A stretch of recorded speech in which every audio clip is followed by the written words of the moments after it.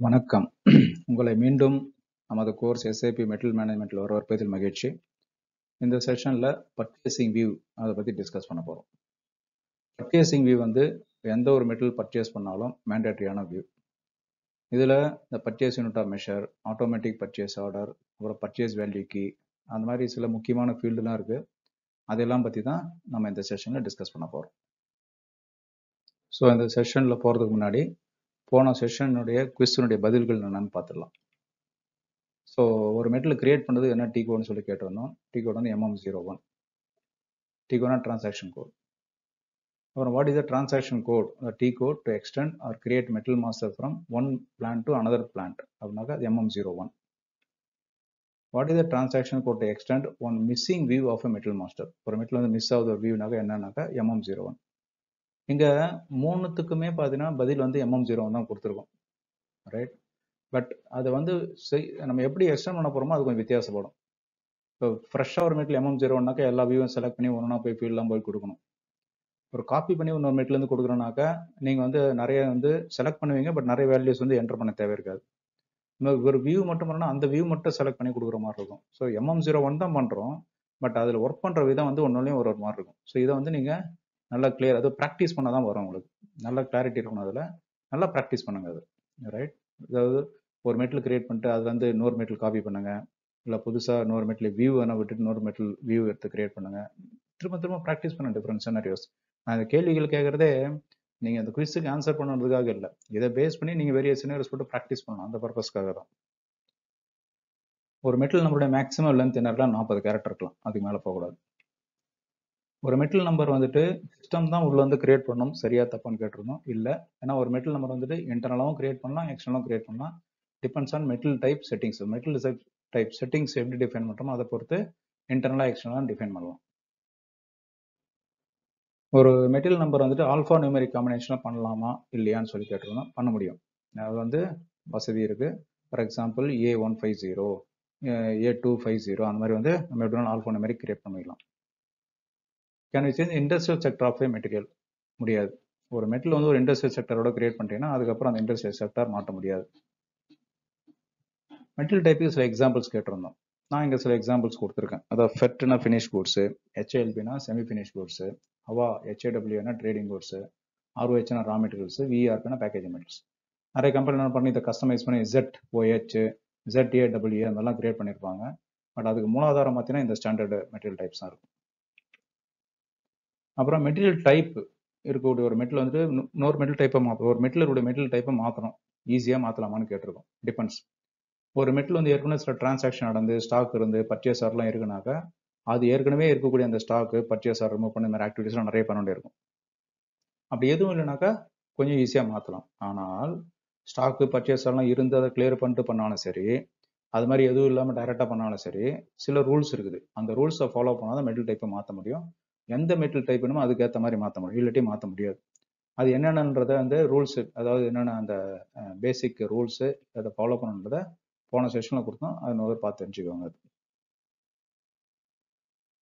ஒரு மெட்டில் வந்து இன்னொரு மெட்டில் காப்பி பண்ணி எடுக்க முடியுமா? கிரியேட் பண்ண முடியுமான்னு சொல்லி கேட்டிருந்தோம். எஸ் கண்டிப்பாக பண்ண முடியும்.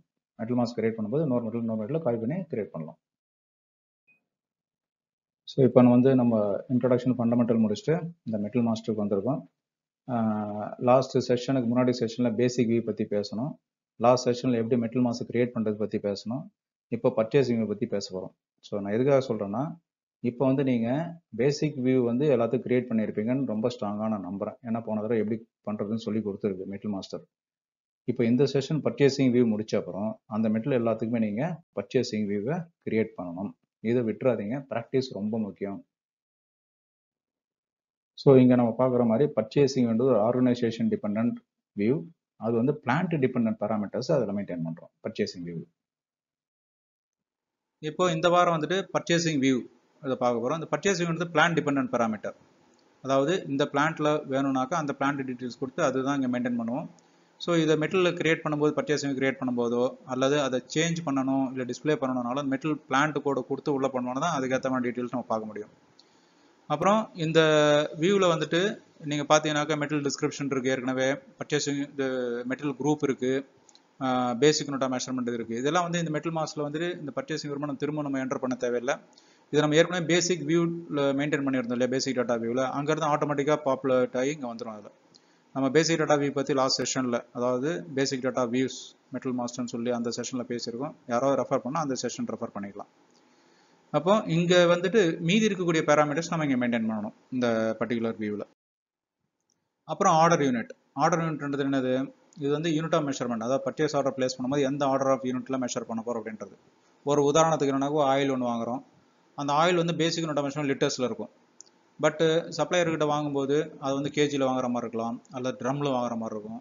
அப்போ வந்துட்டு சப்ளையர் வந்து அது மாதிரி தான் ஆர்டர் கேட்பார். எனக்கு கேஜிலையோ இல்லாட்டி ட்ரம்லையோ கொடுத்தா வாங்கணும் ஆனால் இங்கே வந்து நம்ம வந்து இன்ஜினியரிங் டிராயிங் போடும்போதோ இல்லை பிஎம் கிரியேட் பண்ணி லிட்டரில் பண்ணியிருப்பாங்க அப்போ அந்த யூனிட் ஆஃப் மெஷர்மெண்ட் வந்துட்டு கன்வர்ஷன் நம்ம ப்ராப்பராக டிஃபைன் பண்ணியிருந்தோம்னாக்க அந்த ஆர்டர் யூனிட் இங்கே போட்டோம்னாக்கா பர்ச்சேஸ் ஆர்டர் கிரியேட் பண்ணும்போது சிஸ்டம் வந்து நம்ம என்ன இங்கே டிஃபைன் பண்ணியிருக்கோமோ கேஜியோ இல்லை ட்ரம்மோ அது வந்து ஆட்டோமேட்டிக்காக அந்த பர்ச்சேஸ் ஆர்டர் போடும் வரும் ஸோ எந்த கன்ஃபியூஷன் இல்லாமல் இருக்கும். நம்ம யூஸ் பண்ணும்போது பேசிக் யூனிட் மெஷர்மெண்ட் யூஸ் பண்ணிக்கலாம் அது.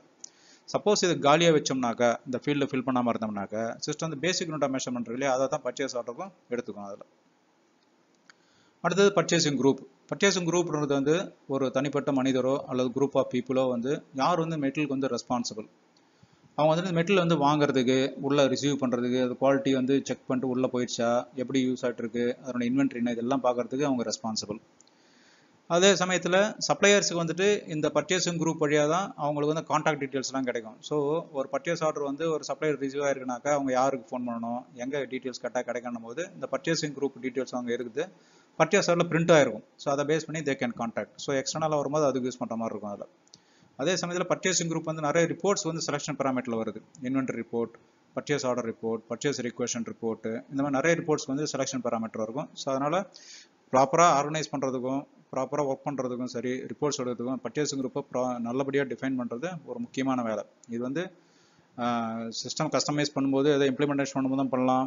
அல்ல இம்ப்ளிமெண்டேஷன் பண்ணிட்ட அப்புறம் கூட ஆர்கனைஸ் சேஞ்ச் ஆச்சுன்னா அப்பவும் பண்ணிக்கலாம் அதை. Any time you can do it இது ஒன்றும் ரொம்ப மேஜர் ஒர்க் ஒன்றும் கிடையாது. அப்புறம் பிளான் ஸ்பெசிஃபிக் மெட்டல் ஸ்டேட்டஸ் இந்த மெட்டல் மாஸ்டர் பார்க்கும்போது கிராஸ் பிளான் ஸ்டேட்டஸ் பார்த்தோம். அது வந்து எல்லாத்தையும் அஃபெக்ட் பண்ணணும்னு பார்த்தோம். பட் இங்கே வந்து இல்லை இல்லை என் பிளான்ட்டுக்கு மட்டும்தான் ஸ்டேட்டஸ் அது எனக்கு வந்து இங்கே தான் ஸ்லோ மூவிங் இங்கே தான் நான் மூவிங் எனக்கு இந்த ஊரில் தான் இது அப்சல்யூட் மெட்டல் கிடைக்கல வேறு மெட்டல் யூஸ் பண்ண வரும்போது இந்த ஸ்டேட்டஸ் யூஸ் பண்ணிக்கலாம். அப்போ என்னன்னாக்கா அந்த ஸ்டேட்டஸ் வந்து இந்த பிளான்ட்டுக்கு மட்டும் தான் அஃபெக்ட் ஆகும். வேறு எந்த பிளான்ட்டுக்கும் இது அஃபெக்ட் ஆகாது. இதுதான் வந்து நம்ம பிளான் ஸ்பெசிஃபிக் யூஸ் பண்ணிக்கலாம் அது. இந்த பிளான் ஸ்பெசிஃபிக் ஸ்டேட்டஸ் வந்துட்டு அப்டேட் பண்ணிட்டோம்னாக்கா இதை பேஸ் பண்ணி பர்ச்சேஸ் ஆர்டர் கிரியேட் பண்ணக்கூடாது. ப்ரொடக்ஷன் ஆர்டர் கிரியேட் பண்ணக்கூடாது. குட்ஸ் இஷ்யூ பண்ணக்கூடாது. குட்ஸ் இஷ்யூ பண்ணக்கூடாது. இந்த கண்டிஷன்ஸ்லாம் நம்ம கஸ்டமைஸ் பண்ணலாம் அது. அதாவது வார்னிங்கோட பண்ணுறதா இல்லை பண்ணவே கூடாதுன்னு சொல்கிறதா என்னென்னாலும் ஆப்ஷன்ஸ் நம்ம கிரியேட் பண்ணிக்கலாம் ஸோ இந்த ஸ்டேட்டஸ் வந்து ரொம்ப யூஸ்ஃபுல்லான ஒரு ஸ்டேட்டஸ் அதே மாதிரி இது எந்த டேட்லேருந்து எஃபெக்டிவாக இருக்குது அதையும் நம்ம இங்கே மெயின்டைன் பண்ணிக்கலாம். ஏன்னா ஸ்டேட்டஸ் நம்ம போடும்போது இன்றைக்கே போய் இம்ப்ளிமெண்ட் பண்ண அவசியம் கிடையாது. சில சமயம் கையில் ஸ்டாக் இருக்கும் அது காலி ஆகிறதுக்கு பத்து நாள் ஆகலாம் இருபது நாள் ஆகலாம் ஒரு மாதம் ஆகலாம். ஸோ அந்த டேட்லேருந்து வருதுனாக்கா அந்த டேட்டுக்கு ஏற்ற மாதிரி அங்கே இண்டிகேட் பண்ணி வச்சிடலாம் அது. அடுத்தது ஆட்டோமேட்டிக் பி ஒன்று ஃபீல்டு ஒன்று இருக்குது இதை ட்ரிகர் பண்ணி வச்சோன்னா என்ன ஆகுனாக்க இப்போ நிறைய பர்ச்சேஸ் ரிக்வெஷன் இருக்குது இப்போ நிறைய கம்பெனி நான் பார்க்கும்போது என்னென்ன ஆகுதுனாக்கா இந்த ஸ்டாக் ரெக்குயர்மெண்ட் லிஸ்ட் இருக்கு இல்லையா அது எம்டி ஜீரோ ஃபோர் அது உள்ளே போய் ஒரு ஒரு பர்ச்சேஸ் ரிக்வெஷனை எடுத்து அதை கன்வெர்ட் பண்ணி பண்ணிட்டு இருக்காங்க அதில். அது வந்து நிறைய டைம் எடுக்கக்கூடிய வேலை. இந்த automatic பியோன்றதுனால ME fifty nine transaction report வச்சு உள்ள போகும்போது ஒரு வெண்டருக்கு வந்து ஒரு பத்து பர்ச்சேஸ் ரிக்வெஷன் இருக்கு. அல்லது ஒரு மெட்டல் குரூப்புக்கு வந்து இவ்வளோ பர்ச்சேஸ் ரிக்வெஷன் இருக்கு. இல்லை பர்ச்சேசிங் குரூப்புக்கு வந்து இவ்வளோ பர்ச்சேஸ் ரிக்வெஷன்னாக்கா அது எல்லாத்தையுமே செலக்ட் பண்ணி அங்கே போய் ஒரு ட்ரிகர் பண்ணோம்னாக்கா ஆட்டோமேட்டிக்காக பிஓ கிரியேட் ஆகிறதுக்கு இந்த ஃபீல்டு யூஸ் பண்ணிக்கலாம். அதே சமயத்தில் ஏ கிளாஸ் ஐட்டத்துக்கு இது யூஸ் பண்ண இருக்கிறது பெட்டர் ஏன்னா ஏ கிளாஸ் ஐட்டன்றது நம்ம சொல்கிறது ஏ கிளாஸ்னே சொல்கிறோம் அதை ஏன்னா வேல்யூ அதிகமாக இருக்கும். இல்லை கிரிட்டிக்கலான ஐட்டமாக இருக்கும். அந்த மாதிரி ஐட்டத்தை வந்து நம்ம செக் பண்ணிட்டு அது ஓகேவா இல்லையான்னு பார்த்துட்டு அதுக்கப்புறம் ரிலீஸ் பண்ணுறது பெட்டர் ஆட்டோமேட்டிக் பிஓ இல்லாமல் பார்த்துக்கிறது நல்லது. அடுத்தது பர்ச்சேஸ் வேல்யூக்கு இது இன்னொரு முக்கியமான ஒரு ஃபீல்டு இது நிறைய கம்பெனியில் இதுவும் வந்து சரியாக யூஸ் பண்ணுறதில்ல இந்த பர்ச்சேஸ் வேல்யூக்குள்ள நிறைய ஆட்ரிபியூட்ஸ் இருக்குது ஃபார் எக்ஸாம்பிள் ரிமைண்டர் அனுப்பலாம் சப்ளையர்ஸுக்கு அதுக்கப்புறம் வந்துட்டு டாலரன்ஸ் லிமிட்ஸ் கொடுக்கலாம். மெட்டல் உள்ளே வரும்போது எவ்வளோ டாலரன்ஸ் அலோவ் பண்ணலாம்? ஒரு அஞ்சு பர்சன்ட் கீழே போகலாமா அஞ்சு பர்சன்ட் மேலே போகலாமா இல்லை டாலரன்ஸ் இல்லாமல் அனுப்பலாமா? இந்த மாதிரியான லிமிட்லாம் போட்டு டிஃபைன் பண்ணது யூஸ் ஆகும். அப்புறம் ஆர்டர் அக்லான்மெண்ட் ரிசிப்ட் வந்து கண்டிப்பாக தேவையான்றதை பர்ச்சேஸ் ஆர்டர் இண்டிகேட் பண்ணுறதுக்கு யூஸ்ஃபுல்லாக இருக்கும். ஸோ இந்த மாதிரி நிறைய விஷயத்துக்கு வந்து இந்த பர்ச்சேசிங் வேல்யூக்கு வந்து யூஸ் அதான் ரிமைண்டர்ஸ்ன்றது வந்துட்டு நம்பர் ஆஃப் டேஸ் எவ்வளோ நாளைக்குள்ள அந்த மெசேஜ் போகணுன்றது. அங்கே வந்து பாசிட்டிவில் டிஃபைன் பண்ணோம்னாக்கா இது வந்து டியூ டேட்டுக்கு அப்புறம் பர்ச்சேஸ் டாக்குமெண்ட் போகும். இதே நெகட்டிவ் பண்ணோம்னாக்கா டியூ டேட்டுக்கு அத்தனை நாளைக்கு முன்னாடி போகும். அதாவது ஃபார் எக்ஸாம்பிள் ப்ளஸ் ரெண்டு அப்படின்னு போட்டோம்னாக்கா டியூ டேட்டுக்கு ரெண்டு நாள் கழிச்சு அது போகும். இல்லை மைனஸ் ரெண்டுன்னு போட்டு டியூ டேட்டுக்கு ரெண்டு நாளைக்கு முன்னாடி போகும் ரிமைண்டர் ஸோ எப்படி வேணாலும் டிஃபைன் பண்ணிக்கலாம் அதை. அந்த நம்பர் ஆஃப் டேஸ் வந்து first reminder second reminder third ரிமைண்டர்லாம் வந்துட்டு பர்ச்சேஸ் இன்ஃபோ ரெக்கார்டில் ஏற்கனவே இருக்கும். அது இருந்ததுனாக்கா சிஸ்டம் வந்து அது பர்ச்சேஸ் ஆர்டரில் அதை எடுத்துகிட்டு போகும். சப்போஸ் அங்கே இல்லைனாக்கா மெட்டல் மாஸ் வந்து எடுத்துக்கும் அது. இன்னொரு பேசிக் ரூல் என்னன்னாக்கா இந்த மாதிரியான டீட்டெயில்ஸ் இந்த ரிமைண்டர் டேஸ் அல்லது பிளான் டெலிவரி டைம் இந்த டைம்லாம் வந்துட்டு பர்ச்சேஸ் இன்ஃபோ ரெக்கார்டு டீட்டெயில் இருந்ததுனாக்கா சிஸ்டம் வந்து ப்ரியாரிட்டி பர்ச்சேஸ் இன்ஃபோ ரெக்கார்டுக்கு தான் கொடுக்கும். அப்புறம் தான் மெட்டல் மாஸ்டருக்கு வரும். அதனால் பர்ச்சேஸ் இன்ஃபோ ரெக்கார்டு டீட்டெயில்ஸ் இதோட அக்யூரேட்டாக இருக்கணும். அது வந்து ரொம்ப கேர்ஃபுல்லாக நம்ம. அடுத்து ஜிஆர்ஐஆர் கண்ட்ரோல் வந்து இந்த over delivery under delivery tolerance for example வந்து பர்ச்சேஸ் நூறு போடுறோம். எக்ஸாக்டாக நூறு வந்து வராதுன்னு எனக்கு வந்து ஒரு பத்து பர்சன்ட் அலவன்ஸ் வேணும். நூற்றி பத்து வந்தாலும் இவ்வளோ அலோவ் பண்ணிக்கணும். இல்லை தொண்ணூறு வந்தாலும் அலோவ் பண்ணிக்கணும்னாக்கா எஸ் இங்கே டிஃபைன் பண்ணலாம். பட் ஒரு சில பர்ச்சேஸ்லாம் வந்து இல்லை இல்லை நூறுன்னு போட்டால் நூறு தான் வரணும். அப்படின்னாக்கா இங்கே ஜீரோ போட்டினாக்கா எடுத்துக்க முடியாது. நாட் அலோடுன்னு சொல்லி கொடுத்துடலாம் அது. அப்புறம் வந்துட்டு அன்லிமிட்டட் டெலிவரி டாலரன்ஸ் ஒன்று இருக்கு. தயவு செஞ்சு அது கொடுக்குறது வந்து ரொம்ப ரிஸ்க் அது. ஏன்னா எவ்வளோ நாளும் ஒரு பர்ச்சேஸ் ஆர்டர் போட்டு என்ன ரிசீவ் பண்ணிக்கலாம் அது. அது முடிஞ்ச வரைக்கும் அவாய்ட் பண்ணுறது பெட்டர் அது. அடுத்தது GR processing time goods receipt processing time இருக்குது இந்த இடத்துல வந்துட்டு இது என்னன்னாக்கா ஒரு மெட்டில் வந்தோடனே அதை இறக்கி அதை உள்ள கொண்டு வந்து அதுக்கு இன்ஸ்பெக்ஷன் பார்த்து அதை கவுண்ட் பண்ணி கொண்டு போய் இன்வென்ட்ரி சேர்க்குற வரைக்கும் இருக்க டைம் அதான் குட்ஸ் ரிசிப்ட் ப்ராசஸிங் டைம் இது டைம் வந்து டிஃபைன் பண்ணுறது வந்து நம்பர் ஆஃப் ஒர்க்கிங் டேஸ் ஏன்னா இது ஃபேக்ட்ரிக்குள்ள நடக்கிறது. அதனால ஒர்க்கிங் டேஸில் இருக்கும். கேலண்டர் டேஸ் கிடையாது. கேலண்டர் டேஸில் என்னன்னாக்கா ஒரு வாரம் இருக்கு. ஞாயிறு டு சனி இருக்குனாக்க அந்த ஏழு நாள் சேர்ந்து தான் கேலண்டர் டேஸ் ஒரு ஃபேக்ட்ரி வந்து சில சமயம் அஞ்சு நாள் தான் ஒர்க் பண்ணுவாங்க. சில கம்பெனி வந்து ஆறு நாள் தான் ஒர்க் பண்ணுறானாக்கா அந்த அஞ்சோ இல்லை ஆறோ இருக்கு இல்லையா அந்த நாளை தான் வந்து இங்கே கன்சிடர் பண்ணிக்கோ சிஸ்டம் அதனால் ஜிஆர் பர்சன்ட் ஒர்க்கிங் டேஸ் தான் இருக்கும். அதனால் வந்து பார்த்து டிஃபைன் பண்ணது டிஃபைன் பண்ணும்போது. ப்ளஸ்ஸு இந்த ஜிஆர் பர்சன்ட் டைம் எவ்வளோ குறைக்கணுமோ அவ்வளோ சீக்கிரம் நல்லது. ஏன்னா இது வந்து ஒரு நான் வேல்யூ ஆர்டர் ஆக்டிவிட்டி இது வந்து ரொம்ப முடிஞ்ச வரைக்கும் நிறைய எஃபோர்ட் போட்டு குறைக்கணும். அடுத்தது போஸ்ட் இன்ஸ்பெக்ஷன் ஸ்டாக் இது போட்டோம்னாக்கா ஒரு மெட்டல் வந்துட்டு நம்ம இன்ஸ்பெக்ஷன் பண்ணணும். அதாவது குவாலிட்டி இன்ஸ்பெக்ஷன் வழியாக போகணும் அப்படின்னாக்கா இந்த ஃபீல்டு வந்து ட்ரிகர் பண்ணணும். இதை ட்ரிகர் பண்ணிடாமல் ஸ்டாக் வந்து நேராக குட்ஸ் இன்ஸ்பெக்ஷன் போஸ்ட் இன்ஸ்பெக்ஷன் பண்ணிட்டு இன்ஸ்பெக் குவாலிட்டி இன்ஸ்பெக்ஷன் ஸ்டாக்ல போய் உட்காரும். குவாலிட்டி ஸ்பேஸ் ஸ்டாக்ல இருக்கும்போது மெட்டல் வேற எந்த பர்பஸ்க்கும் யூஸ் பண்ண முடியாது. ஃபர்தர் இஷ்யூஸ்க்கோ ஃபர்தர் சேல்ஸ்க்கோ எதுக்குமே யூஸ் பண்ண முடியாது. அந்த குவாலிட்டி இன்ஸ்பெக்ஷன் ஸ்டாக்ல இருந்து அன்ரிஜிஸ்டர்ட் ஸ்டாக்கை மூவ் பண்ணால் தான் ஃபர்தராக எங்கேயுமே யூஸ் பண்ண முடியும். அந்த அன்ரிஜிஸ்டர்ட் ஸ்டாக் மூவ் பண்ணுறத நம்ம வந்துட்டு மேனுவலாக த்ரீ டுவெண்ட்டி ஒன் மூவ்மெண்ட்டும் பண்ணலாம். அல்லது இன்ஸ்பெக்ஷன் லாட்டை போட்டு அது வழியாக யூசைடேஷன் ஓகேன்னு சொல்லி கொடுத்து அது வழியாக கொண்டு போகலாம் அதை. பட் அன்ரிஜிஸ்டர்ஸ் போனால் தான் ஃபர்தராக யூஸ் ஆகும். அடுத்தது கிரிட்டிக்கல் பார்ட் இது என்னன்னாக்கா இதை ட்ரிகர் பண்ணுறது வந்து இது ஒரு ஜஸ்ட் ஒரு இண்டிகேட்டர் தான் அது.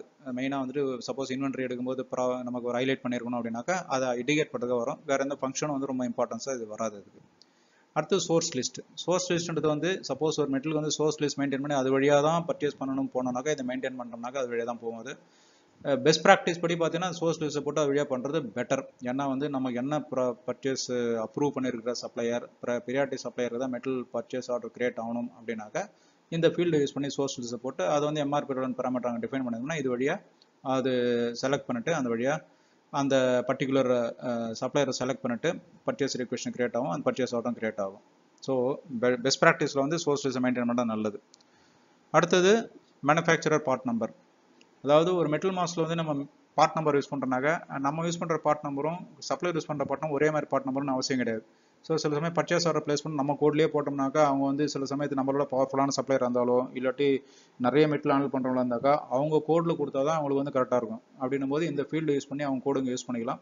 ஸோ பர்ச்சேஸ் ஆர்டர் கிரியேட் பண்ணும்போது நம்ம கோடும் வரும் அவங்க கோடும் வரும் அவங்க ரெஃபர் பண்ணுறது ஈஸியாக இருக்கும். அதை அதுக்காக யூஸ் பண்ணுற field manufacturer part number so இப்போ வந்து நம்ம இந்த இன்டர்நேஷ்னல் ட்ரேட் இம்போர்ட் அப்படின்ற ஒரு டேப்ல இருக்கக்கூடிய சில டீட்டெயில்ஸ் பார்க்குறோம்.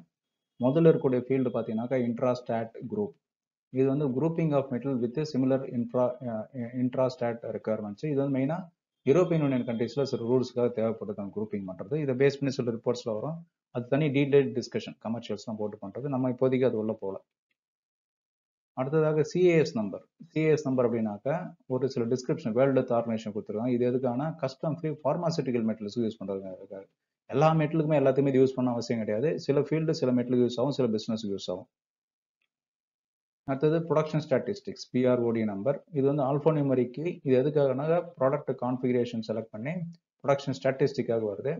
இது வந்துட்டு இந்த ஐட்டம்ஸ் வந்துட்டு ஒரு ஹார்மோனைஸ் சிஸ்டம் பேஸ் பண்ணி கிளாஸிஃபை பண்ணியிருக்கு அண்ட் ஆல்சோ நாமன் கிளேச்சர் வந்து ஃபாரின் ட்ரேடுக்காக கிரியேட் பண்ணியிருக்காங்க அதை. அது வந்து ஒரு சில டியூட்டி கால்குலேஷன்ஸ் அதுக்கெல்லாம் யூஸ் ஆகும்.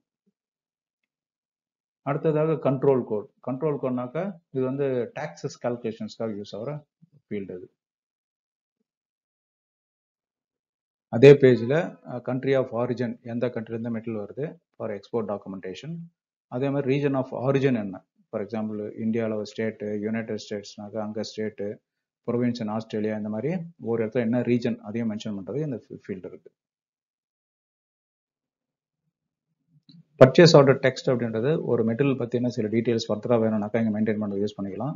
இது வந்து எனி ஆர்கனைசேஷன் டிபெண்ட் டீட்டெயில்ஸ் கிடையாது. இது வந்து ஆர்கனைசேஷன் இண்டிபெண்ட் டீட்டெயில்ஸ் இதில் ஃபில் பண்ணுற டீட்டெயில்ஸ் வந்து பர்ச்சேஸ் ரிக்வெஸ்ட்டுக்கு பர்ச்சேஸ் ஆர்டரும் காப்பி பண்ணி. அங்கே வரும் ஆட்டோமேட்டிக்காக வரும். எதனா மாற்றணும்னா அங்கே போய் நம்ம மாற்றிக்கலாம் டீட்டெயில்ஸு பட் இங்கே மெயின்டைன் பண்ணுறோம்னா எல்லா இடத்துக்கும் அப்ளை ஆகும். இந்த செஷனில் நம்ம பர்ச்சேசிங் வியூ அதில் இருக்கக்கூடிய purchase order unit purchasing group plant specific ஸ்டேட்டஸ்னா என்ன ஆட்டோமேட்டிக் பர்ச்சேஸ் ஆர்டர் எப்படி யூஸ் பண்ணுறது பர்ச்சேசிங் வேல்யூ கீனா என்ன போஸ்ட் இன்ஸ்பெக்ஷன் ஸ்டாக் மற்றும் ஃபாரின் ட்ரேட் அதனுடைய டீட்டெயில்ஸு அதை பற்றிலாம் பேசியிருக்கோம். இப்போ இந்த செஷனுக்கான குவிஸ்க்கு என்னன்னு சொல்லி வரலாம். What is order unit in purchasing view purchasing வியூவில் பர்ச்சேஸ் ஆர்டர் யூனிட்னா என்ன?